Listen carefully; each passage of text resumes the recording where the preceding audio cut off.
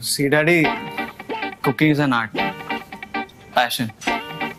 Clint आप right.